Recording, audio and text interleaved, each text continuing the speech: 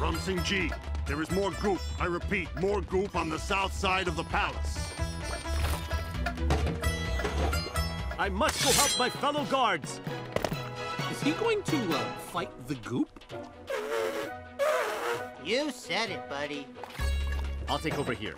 You can help the guards behind the palace. Here, Ram Singh Ji. Thank you, Mira. Where do you think all of this goop is coming from? Probably from the same place where all of Jalpur's water comes from. Where's that?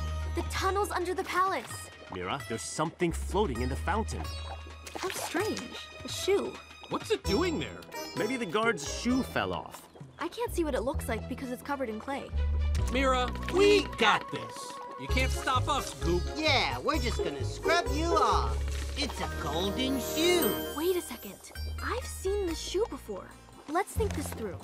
We saw gold shoes earlier today at the sculpture garden. They belong to Prince Veer! You think Prince Veer knows why there's goop everywhere? We need to talk to him. Chalo Chalo, let's go! Uh, Ram Singh Ji, where is Prince Veer? He has been down in his art studio in the basement of the palace. He said that he is not to be disturbed. Thank you. Don't worry, Uncle. We promise not to disturb him.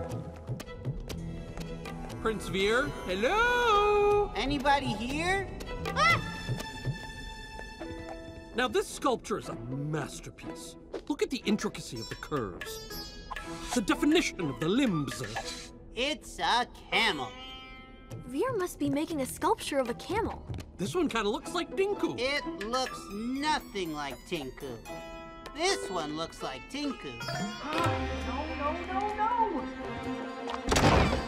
This sculpture isn't good enough either. I need to start over.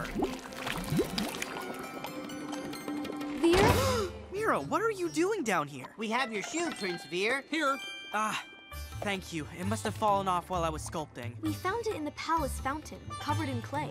That's strange. Veer, have you been putting your sculptures in the water all day? Yes, I just want to make the best sculpture so Mr. Berman picks mine to go on the stand in the sculpture garden. Veer, your sculptures are great. But they're not perfect. That's why I have to keep dissolving them in the water and trying to make a better one. But I still don't understand how the clay and my shoe went from down here to up there?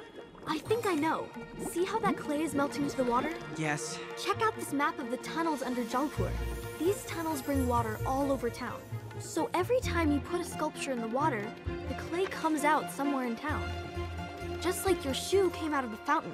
What? I had no idea. And now I made a mess for the whole town. I must fix this. There. That's the last bucket of goop. Everyone, I'm so sorry about this gooey mess. My deepest apologies. Ram Singh Ji, can you please try the pump now? It works! Wonderful!